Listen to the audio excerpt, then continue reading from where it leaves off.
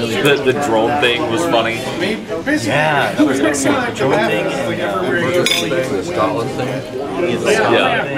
the police state bit that you did was, excellent well. The asset forfeiture, Yes, uh, the Miss America thing, that was excellent. where, where he, he called Bonk on, we're the largest provider of scholarships for women. Right. Are you to? Uh, stay in Winchester? well, they kind of are, because there's not really any other thing that only gives scholarships